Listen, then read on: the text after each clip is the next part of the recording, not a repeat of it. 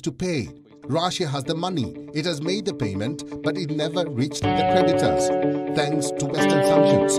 This is Kremlin's side of the story. But the money is stuck in a Belgian bank, and Russia has been declared a defaulter. The truth is, when it comes to the war, neither speeches nor sanctions have helped.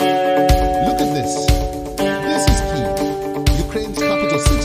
was by at least 40 1818. So for my chart, they were looking at those bonds that they're defaulting on here, the 2036, and that they did have 100 due on. I remember these bonds have been trading in distressed territory. So the idea that they defaulted as a result of those sanctions, and of course people just not wanting that exposure to Russia, it is largely symbolic. But take a look at this for our radio audience. Since March, these bonds have basically been trading about 20 cents on the dollar. And remember, Russia has been saying it has the money. It's just been forced into non-payment, trying to service perhaps the debt in rubles. Of